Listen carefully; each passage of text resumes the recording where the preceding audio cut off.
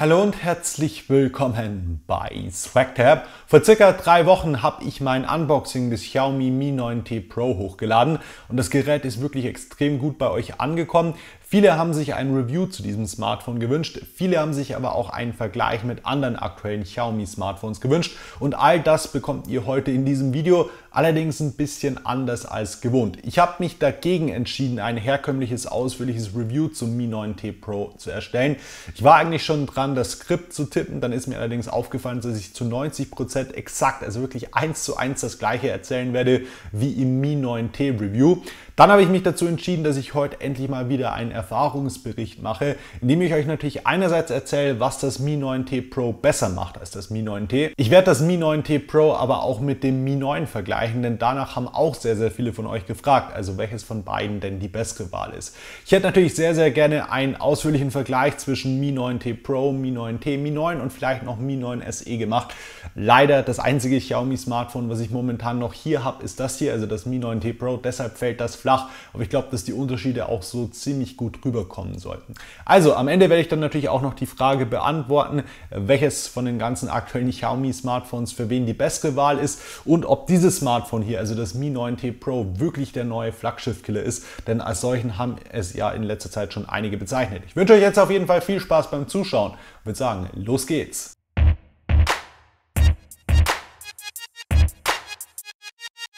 Bevor wir jetzt gleich zu den wenigen Unterschieden, die das Mi 9T Pro im Vergleich zum normalen Mi 9T bietet, kommen, möchte ich jetzt doch noch mal kurz die Gemeinsamkeiten schnell zusammenfassen, denn das sind wirklich einige. Und wie gesagt, wenn ihr euch für einen dieser Punkte, die ich jetzt gleich aufzählen werde, detaillierter interessiert, schaut euch bitte mein Mi 9T Review an, denn da gehe ich darauf ausführlich ein. Das Design ist schon mal komplett identisch. Vorder- und Rückseite bestehen aus Glas, der Rahmen aus Aluminium. Das Gerät ist wirklich hervorragend verarbeitet und fühlt sich, wie ich finde, extrem hochwertig an. Noch schöner als die Rückseite ist aber natürlich nach wie vor die Vorderseite mit diesen extrem dünnen Displayrändern. Es ist das gleiche 6,4 Zoll große AMOLED-Display mit Full HD Plus Auflösung wie beim Mi 9T. Farbwiedergabe, Helligkeit, das ist alles auf einem ziemlich hohen Niveau und es bleibt eben bei dieser schönen, cleanen Front ohne Notch, ohne Punch-Hole. Das ist und bleibt persönlich mein Highlight an diesem Smartphone, sage ich euch, wie es ist. Der In-Display-Fingerabdrucksensor ist in meinen Augen auch exakt der gleiche. Er arbeitet sehr zuverlässig und die Software, also Xiaomi's MIUI, ist natürlich auch komplett identisch. Da das Mi 9T Pro ja auch die Global Version vom, ich glaube, Redmi K20 Pro ist, habt ihr hier natürlich auch alle Bänder, alle LTE-Bänder, Frequenzen und so weiter, die ihr hier in Europa oder in Deutschland benötigt. Und ihr könnt natürlich auch Netflix, Amazon und so weiter in HD anschauen. Alle Google Apps, alle Google Services und so weiter sind vorinstalliert.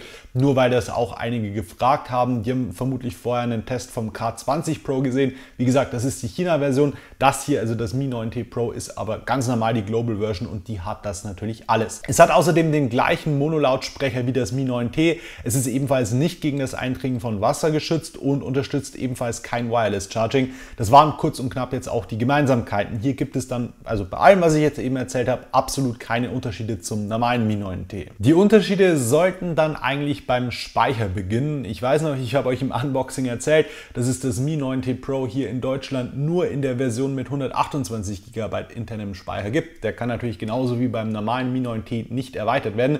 Beim normalen Mi 9T gibt es aber auch noch eine Version mit 64 GB internem Speicher. Nun ist es allerdings so, dass es auch das Mi 9T Pro in Deutschland bei diversen Shops schon mit 64 GB internem Speicher gibt. Dadurch natürlich dann auch etwas günstiger. Also momentan ist Xiaomi wirklich unberechenbar. Ich habe so das Gefühl, die schauen kurz, hm, würde das bei den Leuten gut ankommen? Ja, ich, wir glauben schon und dann bringen sie das Produkt sofort auf den Markt. Ich mag sowas ja, aber ähm, das, also dadurch fällt es natürlich echt schwer, noch so den Überblick zu behalten. Das ist aber natürlich jetzt momentan äh, Mitte September Stand der Dinge, wollte ich auf jeden Fall erwähnt haben. Jetzt kommen wir aber wirklich zum ersten großen Unterschied und das ist natürlich der Prozessor, denn hier im Inneren des Mi 9T Pro werkelt der Qualcomm Snapdragon 855 Octa-Core mit maximal 2,84 GHz Qualcomms aktueller Spitzenprozessor und ich weiß, da freuen sich natürlich einige, denn viele haben sich auch schon beim Mi 9T einen etwas stärkeren Prozessor gewünscht. Ich muss euch aber ganz ehrlich sagen, dass man davon im Alltag nicht viel merkt. Das Bedientempo ist beim Pro noch mal einen Tick höher, Apps starten und schließen etwas schneller und bei manchen aufwendigen Spielen merkt man einen leichten Unterschied, aber ich meine, beide haben ja auch 6 GB RAM hier in Europa. Ah, allzu groß ist der Unterschied momentan nicht. Stand jetzt braucht ihr den stärkeren Prozessor allenfalls dann, wenn ihr mit dem Ding vielleicht Fortnite in toller, schöner Grafik oder so zocken wollt oder zum Beispiel viele Videos exportieren wollt, wieso auch immer man das auf dem Smartphone machen sollte. In ein bis zwei Jahren kann dieser stärkere Prozessor, wird dieser stärkere Prozessor meiner Meinung nach aber auf jeden Fall relevant werden.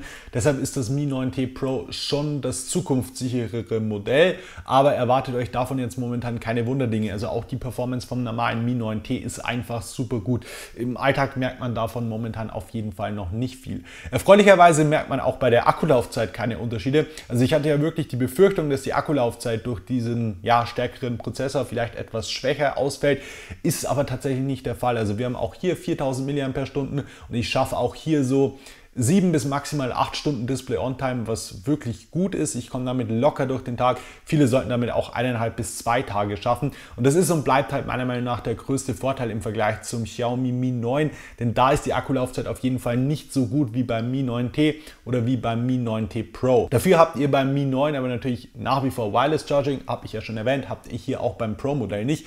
Das Pro-Modell hat jetzt allerdings 27 Watt Fast Charging, zumindest theoretisch. Ist man da jetzt auf Mi 9 Niveau, wenn ich das noch alles richtig im Kopf habe. Beim Mi 9T ist ja bei 18 Watt Schluss. Allerdings wird auch hier nur ein 18 Watt Netzteil mitgeliefert. Genauso wie auch beim Mi 9. Also wer da mehr möchte, der muss sich ein anderes Netzteil kaufen. Ist nicht allzu teuer. Gibt es, glaube ich, in Xiaomis Online-Shop. Aber wie gesagt, muss man sich dann halt eben separat kaufen. Wobei ich glaube, dass auch mit den 18 Watt die meisten glücklich werden sollten. Dann müssen wir jetzt natürlich über die Kamera sprechen, denn das ist der zweite große Unterschied im Vergleich zum normalen Mi 9T. Hier verbaut Xiaomi nun die gleiche 48 Megapixel Hauptkamera mit einer Blende von f1.75 wie beim Mi 9. Erstmal die gute Nachricht. Ich finde, dass die Bildqualität der Hauptkamera sichtbar besser ist als beim Mi 9T. Das fällt schon bei guten Lichtbedingungen auf, allerdings da nicht so stark.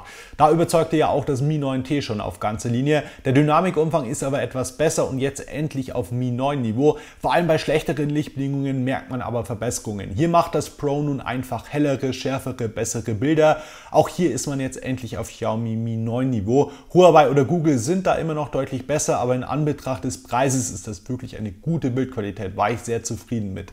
Jetzt allerdings die schlechte Nachricht. Die Weitwinkelkamera und die Zoomlinse sind leider die gleichen wie beim Mi 9T, also nicht die vom Mi 9. Hier ist das Mi 9 immer noch einen Tick besser. Ich persönlich bin zwar der Meinung, dass man das vernachlässigen kann, weil die Hauptkamera eh viel wichtiger ist, aber erwähnt haben wollte ich es natürlich trotzdem. Auch die Videoqualität ist beim Mi 9T Pro sichtbar besser als beim Mi 9T. Das ist natürlich alles noch nicht perfekt. Samsung oder Apple sind da bei den Videos auf jeden Fall noch mal besser. Aber es ist auf jeden Fall auch eine sichtbare Verbesserung im Vergleich zum Mi 9T. Bei der Pop-Up-Frontkamera wiederum gibt es absolut keine Unterschiede. Das ist meiner Meinung nach die gleiche Kamera wie beim Mi 9T. Und das war es dann im Prinzip auch schon. Das ist alles, was ich euch zum Xiaomi Mi 9T Pro erzählen wollte. Ich fasse jetzt noch mal kurz zusammen. Wir haben einen Unterschied beim Prozessor. Wir haben natürlich hier den deutlich stärkeren Prozessor im Vergleich zum Mi 9T. Davon merkt man momentan noch nicht so viel. Das kann allerdings in Zukunft das wird in Zukunft meiner Meinung nach definitiv relevant werden. Was man auf jeden Fall bemerkt, ist die bessere Hauptkamera. Bei guten Lichtbedingungen jetzt nicht so sehr, aber vor allem bei schlechteren Lichtbedingungen und bei Videos hat das Mi 9T Pro die Nase vorne und der Akku kann zumindest theoretisch auch schneller aufgeladen werden. Dafür müsst ihr euch aber natürlich dann ein separates Netzteil kaufen. Wäre mir das jetzt den momentanen Preisunterschied von 70 bis 100 Euro im Vergleich zum Mi 9T wert, sage ich euch ganz ehrlich, nein. Mir persönlich wäre es diesen Preisunterschied nicht wert, es sei denn, ihr legt wirklich brutal viel Wert auf die Kamera und natürlich auch auf den Prozessor, weil ihr einfach geil auf geile Specs seid, sage ich jetzt mal. Ich gehe aber davon aus, dass die Preise auf jeden Fall noch sinken werden. Wie gesagt, das Mi 9T Pro ist ja noch nicht lang auf dem Markt und wenn wir dann mal bei so 50 bis 60 Euro Preisunterschied angelangt sind, also zwischen Mi 9T und Mi 9T Pro, dann kann man, glaube ich, bedenkenlos zur Pro-Version greifen, wenn man eben viel Wert auf die Kamera legt, weil das ist wirklich so der größte Unterschied. By the way, all diese Preise, die ich jetzt nenne, das sind natürlich die Preise von den deutschen Shops. Ähm, ich weiß, wenn man die Dinge aus China holt, vielleicht auch das K20 Pro oder das K20, bekommt man die Geräte nochmal günstiger. Das ist für mich aber nicht relevant, weil da oft natürlich noch Zoll dazu käme, Einfuhrumsatzsteuer. Ich weiß, das kann man natürlich alles umgehen solltet ihr aber nicht machen. Und deshalb nehme ich natürlich die Preise der deutschen Shops, wo ihr auch problemlos Garantie habt und so weiter. Ähm, dann gibt es aber natürlich nicht nur ein Mi 9T, sondern auch noch ein Mi 9. Das bekommt ihr momentan je nach Speicherversion auch 30 bis 40 Euro günstiger als das Mi 9T Pro, weil das Mi 9 natürlich schon eine ganze Ecke länger auf dem Markt ist. Das hat wie gesagt definitiv auch seine Vorteile. Es hat die bessere Weitwinkelkamera, es hat die etwas bessere Zoomlinse, es hat Wireless Charging, es hat, finde ich, auch den etwas besseren WLAN-Empfang und es hat auch den etwas besseren Lautsprecher. Das Mi 9T Pro im direkten Vergleich hat natürlich nach wie vor die bessere Akkulaufzeit, es hat einen 3,5 mm Klinkenanschluss und ich finde halt auch, dass es das deutlich schönere Design hat. Das ist natürlich aber komplett subjektiv, aber davon würde ich es dann tatsächlich am Ende auch abhängig machen, weil ich ehrlich gesagt davon ausgehe, dass das Mi 9 und das Mi 9T Pro so in ein bis zwei Monaten ähnlich viel kosten dürften. Und dann müsst ihr halt einfach schauen, welches gefällt euch optisch besser und welchen dieser Pluspunkte oder welche diese Pluspunkte, die ich eben aufgezählt habe, sind euch wichtiger. Je nachdem solltet ihr euch dann für eins der beiden Geräte entscheiden. Ich persönlich würde ehrlich gesagt bei gleichem Preis eher zum Mi 9T Pro greifen, weil es halt einfach die bessere Akkulaufzeit hat, weil es diesen Klinkenanschluss hat und weil es mir optisch besser gefällt. Es gibt aber auch genügend Gründe eher zum Mi 9 zu greifen, weil man zum Beispiel Wireless Charging will oder halt eben die ganzen anderen Punkte. Also das ist absolut in Ordnung. Das muss dann wirklich jeder für sich selbst entscheiden. Ich kann euch das Mi 9T Pro auf jeden Fall auf ganze Linie weiterempfehlen. Das Smartphone hat mir extrem gut gefallen. Ich meine, ihr wisst es ja, mir hat ja schon das normale Mi 9T sehr, sehr gut gefallen. Das Mi 9T Pro ist aber jetzt eben in den wenigen Punkten, in denen das Mi 9T vielleicht nicht ganz so gut war, einfach nochmal einen Tick besser. Und ich sage euch ganz ehrlich, wenn dieses Jahr ein Smartphone diesen Titel Flaggschiff-Killer verdient hat, ich meine, letztes Jahr habe ich ja gesagt, dass das Pocophone F1 für mich so eine Art Flaggschiff-Killer war. Dieses Jahr wäre es dann auf jeden Fall das Mi 9T Pro oder auch das normale Mi, Mi 9T, aber jetzt auf jeden Fall das Mi 9T Pro mit der besseren Kamera und dem stärkeren Prozessor. Aber man muss natürlich fairerweise auch nach wie vor sagen, dass aktuelle Huawei-Smartphones, Samsung-Smartphones, iPhones bei der Kamera schon nochmal deutlich besser sind, dass sie einfach mehr Premium-Features haben. Wireless Charging, sie sind wasserdicht. Teilweise kann der Speicher noch erweitert werden. Solche Dinge halt.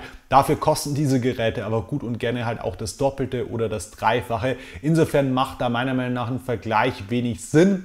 Ähm, insofern macht aber auch dieser Begriff des Flaggschiff-Killers keinen Sinn, weil das kein Flaggschiff-Killer ist. Es ist aber halt auf jeden Fall ein brutaler Preis-Leistungskiller, Preis-Leistungskracher sage ich jetzt mal und ein Smartphone, das ich auf ganzer Linie weiterempfehlen kann.